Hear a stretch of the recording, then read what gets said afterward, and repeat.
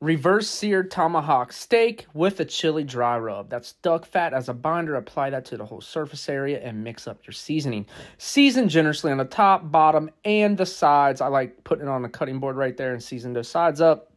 Getting our coals down with some apple wood chunks, 250 degrees, placing it in on the smoker. We're going to prep up some fingerling potatoes, oil, butter, get the potatoes in, let them cook for about five minutes or so, add in some salt, and then toss in your mushrooms, onions, bell peppers, jalapenos, and some pepper. Let that cook down while it's smoking. 115 to 118 internal, remove it, set your searing station up, and sear that baby off for about 60 to 90 seconds, 10 to 12 minute rest. We're just going to cut into that bad boy and look how delicious it is.